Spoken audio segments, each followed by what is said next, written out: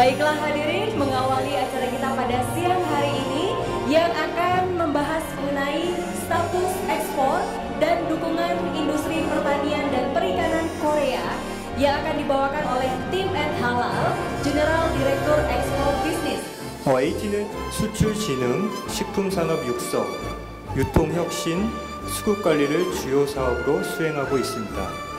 Jadi eh, untuk produk-produk Korea yang baru yang eh, akan apply halal certificate bisa langsung ke kantor representatif di Korea.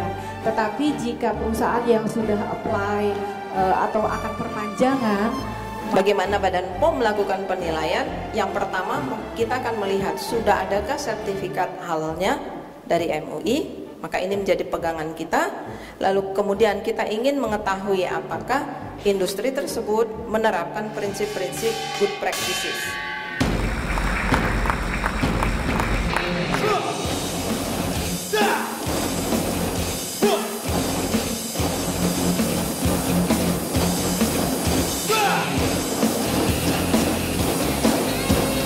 농식품 수출 지원 전문 기관인 AT에서는 앞으로 이러한 해외 소비자들의 눈높이에 맞춘 건강하고 안전한 한국 식품을 소개하고 양국 간의 교력 정진과 협력이 더욱 확대될 수 있도록 최선을 다할 계획입니다. 인도네시아는 어, 인구의 대다수가 에, 무슬림 인구 회교 국가입니다. 우리가 인도네시아에 우리 음식을 소개하는 데 있어서는 이분들이 무슬림이라는 점을 감안한 세심한 접근이 필요하다고 봅니다. 그래서 더욱더 연구하고 이분들을 배려한 그런 음식이 소개되기를 기대하고 있습니다. Pameran ini diharapkan menjadi ajang pertukaran informasi, budaya, serta perdagangan produk pangan. Dan kita berharap bahwa ini bisa menjadi ker- kerjasama kedua negara yang saling menguntungkan. if you can apply the halal system in your Samsung, more attractive for Muslim, very typical to have a market in Indonesia. Just you have to know the culture of Indonesia.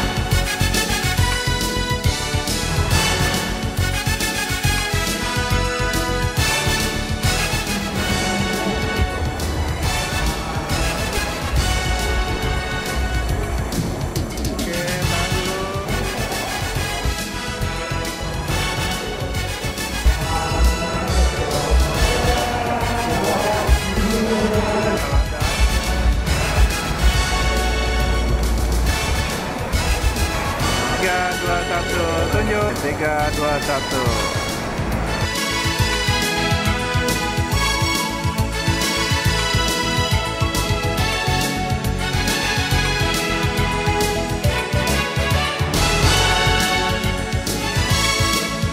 한국농수관 식품유통공사 사장 김재수